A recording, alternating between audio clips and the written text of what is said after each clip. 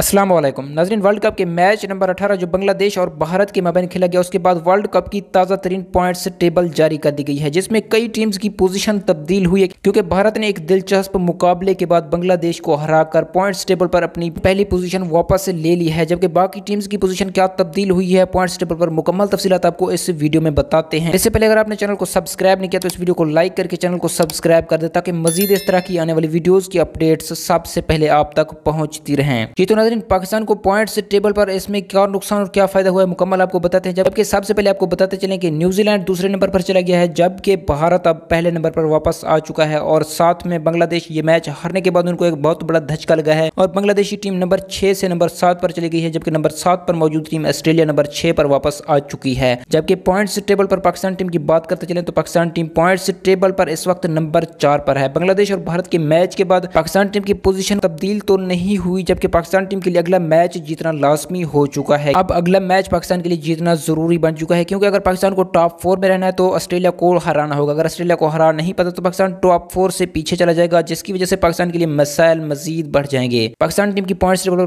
के हवाले से आप क्या कहते हैं कमेंट में अपनी राय का इजहार जरूर करें